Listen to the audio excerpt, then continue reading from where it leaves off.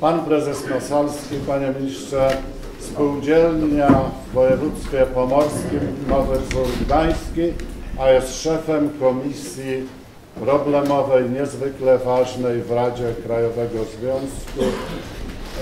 Ogromne doświadczenie, no środowisko pana prezesa Masalskiego zna doskonale, nie muszę go prezentować. Panie prezesie, E, Szanowny Panie Ministrze, był wstęp większy niż chyba potrafię powiedzieć.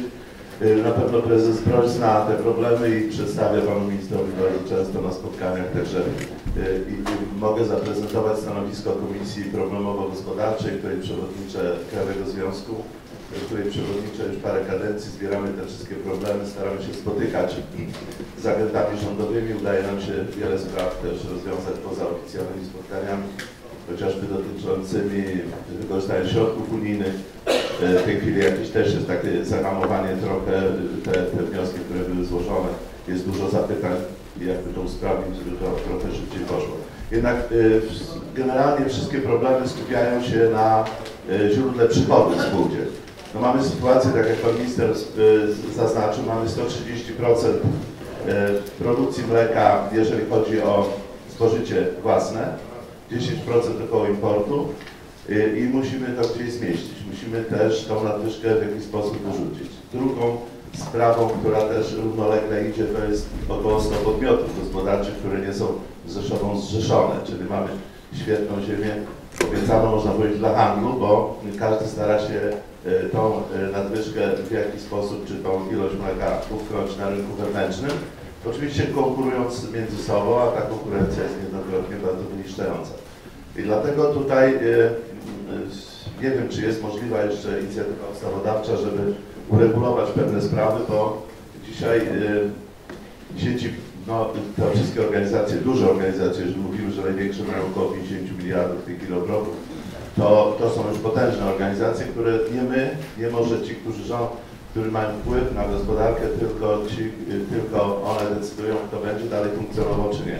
I tutaj mamy takie przykłady. Ja nie jestem kolegą Wróblewski, absolutnie wrogiem sieci.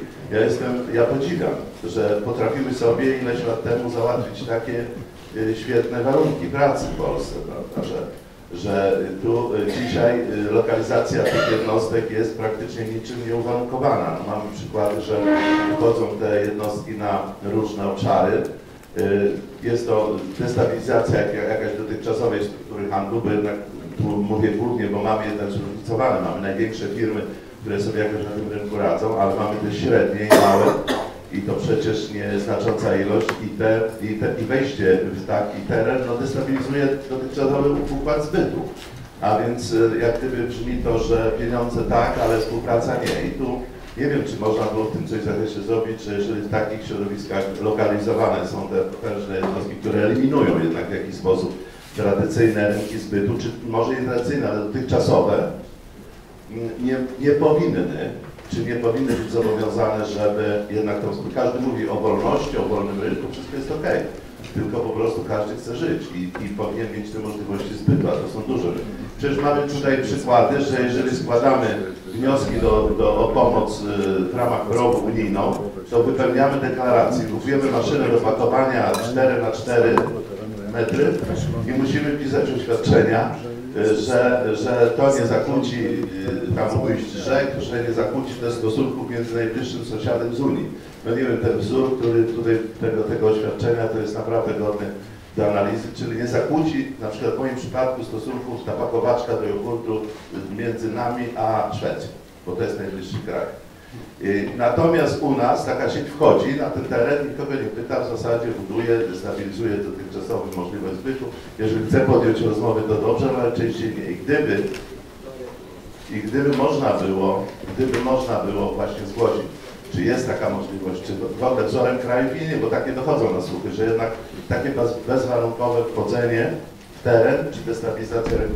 Oczywiście świetna ustawa i niejednokrotnie o tym mówiliśmy, wiele lat leżała, weszła o, o przewadze konkurencyjnej i ona jest jednak przy tej nadwyżce mleka, którą mamy ponad rynek, istnieją obawy, że no co, ja podskoczę, no to mogę wylecieć z tego rynku. Tu jest jedynie, jedynie możliwość y, chyba y, formułowania tych wszystkich spraw poprzez, y, poprzez związki, które mamy.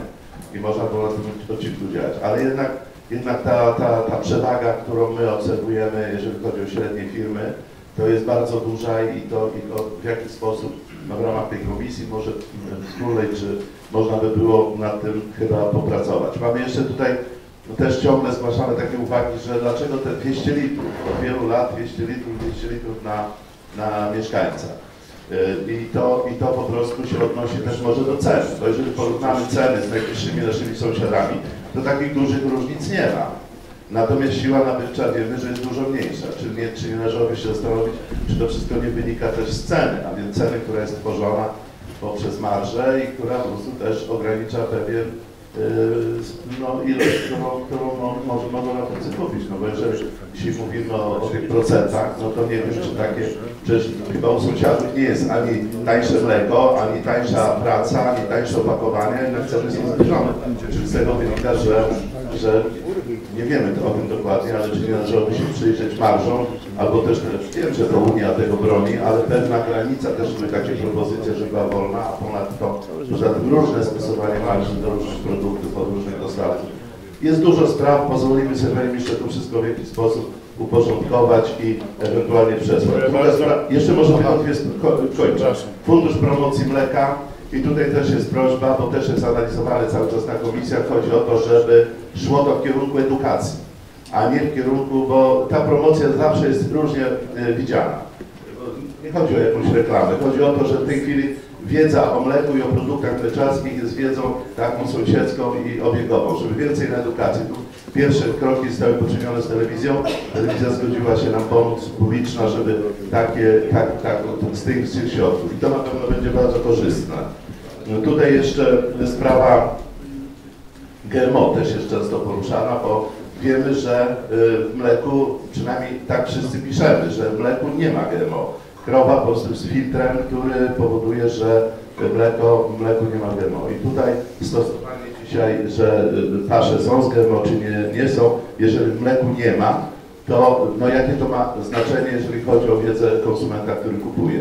I widzieliśmy to, ten projekt ustawy, który reguluje te sprawy, który nakłada z- o- odpowiedzialność na kto znakuje. To jest dobrze, bardzo dobrze, że tak jest. Tylko w ogóle był wniosek, czy produkty mleczarskie w ogóle powinny być znakowane, skoro mleku nie ma.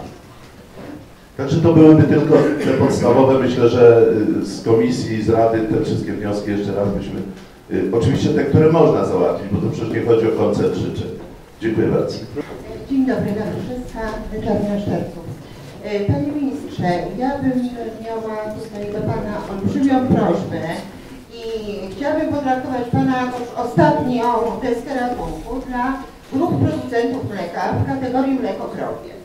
E, My tutaj w naszej małej spółdzielni mamy dwie grupy producentów mleka e, i rozporządzenie ministra z 16 sierpnia 2006 roku mówi o tym, że członkowie grup producentów mleka nie mogą zasiadać w organach nadzoru spółdzielni mleczarskich.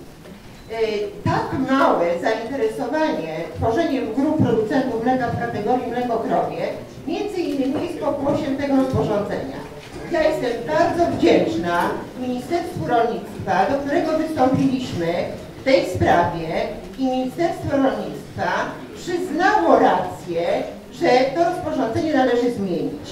E, Jest już projekt, jest już tutaj sprawa po konsultacjach.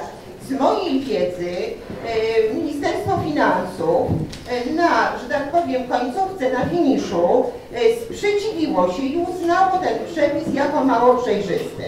Panie Ministrze, dwa lata działają grupy producentów mleka w naszej mleczarni. I naprawdę są to bardzo potrzebne organizacje, które praktycznie są dofinansowane ze środków unijnych i szkoda byłoby niewykorzystania tych środków, e, a ten przepis zdecydowanie blokuje e, chęć tworzenia tak mało grup mlecznych, tak mało grup producentów mleka jak teraz, to jeszcze nie było nigdy.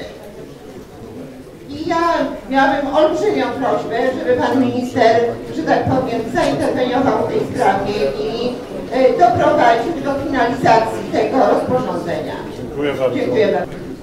Panie Ministrze, Szanowni Państwo, ja bardzo krótko, bo miałem ostatnio z panem ministrem możliwość spotykania się i rozmawiania też na temat branży mleczarskiej, ale pierwsze moje pytanie, y, y, które chciałbym zadać, to właściwie może tak pewna sugestia. Jako przewodniczący Komisji Rolnictwa Sejmiku Województwa Wielkopolskiego. Po pierwsze, kto wpadł na taki mądry pomysł zadekretować, kiedy ma przyjść wiosna? Nie drogi, no prawda. Zaraz uzasadnię jednym zdaniem. Wielkopolska w ubiegłym roku to największe centrum suszy. Nie ma tam ani kropli wody na polach. Rolnicy, rzepak powinien czek czekać na azot. A azot można wysiewać dopiero y, od pierwszego. No więc nie dekretujmy kiedy, bo y, dziś akurat może być tak, że, że wcześniej nie można wjechać, ale jak można, to trzeba raczej poprawić, panie ministrze, ten, tą, ten, to rozporządzenie w zależności od aury, bo wiem, sam widziałem i rolnicy się przyznają, już posiali na wypadki, bo, bo to azot ma czekać, jak rzepak zacznie, zacznie e, wiosenną, wiosenny wzrost. To jedno. Druga też, proszę Państwa, o sytuacji y, w trzodzie chlebnej. No jeżeli dwa albo trzy razy w tygodniu w większości sieciach można kupić kalkówkę, szynkę, łopatkę w cenie 8-9 zł bez kości, to jak my, nasz, jak nasi rolnicy mogą konkurować? Ja rozumiem, że nie da się, nie da się y, zadekretować, że y, że zabronimy y, postawienie granicy dla, dla importu żywności do Polski. Ale z tego jest jasny wniosek. To, co na pewno rolnicy też się już ubiegali. Trzeba wzmóc, proszę Państwa, dopłaty do materiału hodowlanego, do utrzymywania loch. Bo przecież nie tylko to, że mięso, także prosięta. 7 czy ponad 7 milionów w ubiegłym roku prosiąt to, są, to, to jest, proszę Państwa, importowane y, z Niemiec czy z Danii do Polski. Jak może się y, produkcja trzody chlebnej w Polsce w takiej konkurencji rozwijać? I już jedna, jedno zdanie z naszej branży. Panie Ministrze, jedno co, jedno, co nas najbardziej boli, to są marże, y, jakie są stosowane przez sieci handlowe na nasze produkty mleczarskie. W Niemczech załatwiono to w ten sposób, że minister rolnictwa, przedstawicieli, przedstawicieli, konsument, przedstawicieli konsumentów, ale także, ale także y, przedstawiciele przemysłu i, i handlu doszli do porozumienia, że przynajmniej na pewien okres czasu ustala się ceny i wpływ na te marże.